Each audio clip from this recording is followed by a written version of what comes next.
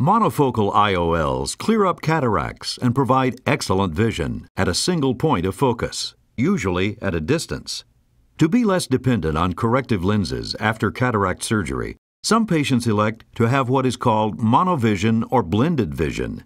This is where the dominant eye is corrected to provide clear distant vision, and the non-dominant eye is corrected to provide clear near vision.